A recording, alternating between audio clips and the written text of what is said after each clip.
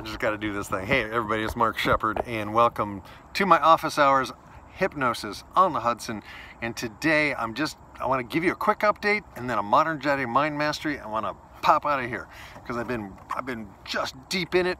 I got a really good, solid take of the moon on the river, uh, and I was able to mix it in Adobe Audition, which is the next step in my ability. I added some reverb to it and I EQ'd some stuff and I just, I got what I think sounds pretty darn good. And I played the, uh, the electric silent guitar, so I had that on one channel and then my vocal headset mic on the other channel. And so I got a really good clean recording and I was able to adjust the guitar to the voice and have control.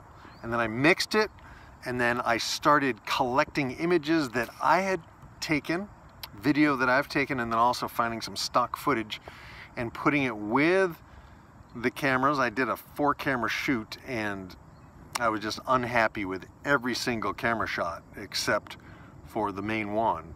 And so I just used one shot. And I learned a lot that I can do a lot with just one shot that's just head on, captures my fingers and the guitar. So like it works as a reference for me in the future if I ever need to remember how to play this. Uh, and it just, it started to come together really well. So I got, a, I think, a pretty good music video put together and then I needed a break. So I've come to the river to do my office hours and to uh, explore this little river here that's across from Henry Hudson Park. And that's it. I want to get in and get out and people I so appreciate you. There's this this video I'm so excited about it. I can't wait for you to see it and I, would love it if you could give me some feedback and some comments about it.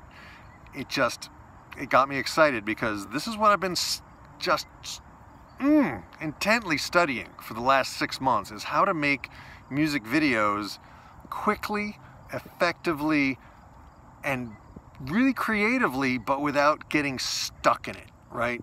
Without getting stuck in perfectionism, without trying to make stuff too good, but to really free myself to communicate these songs and these ideas that I have been working on for the last 35, 40 years. And again, this is hypnosis. This is me keeping track of my progress for me, and this is me demonstrating my progress to my clients, to my friends, to my family, to the people that might be interested in working with me at some point in the future or who might be interested in learning how to run your own mind, how to be a modern Jedi mind master, it's not what you might think. It's literally being able to respond to the world no matter what the world gives you. So that you're literally training yourself to be resourceful, to be competent, in the words of Jordan Peterson, to be someone who can effectively control the things you can control and let go of the things you can't.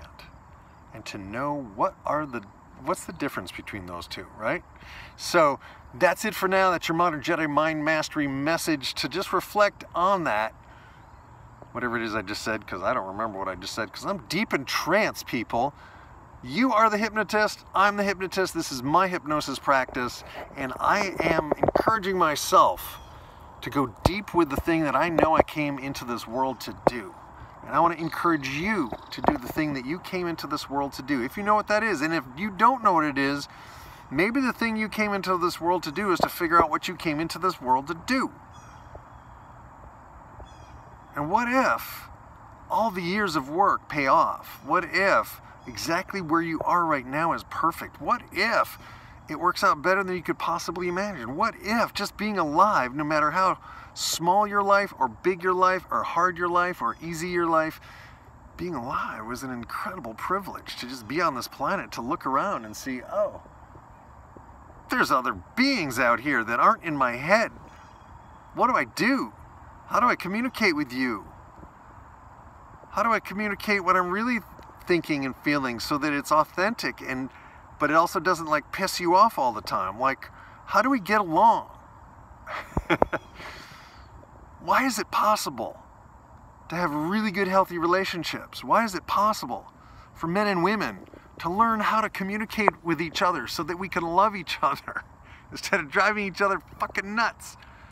What if? What if you could subscribe to my channel and give me a thumbs up? What if you could leave a comment below? What if it all works out better than you can possibly imagine? Boom!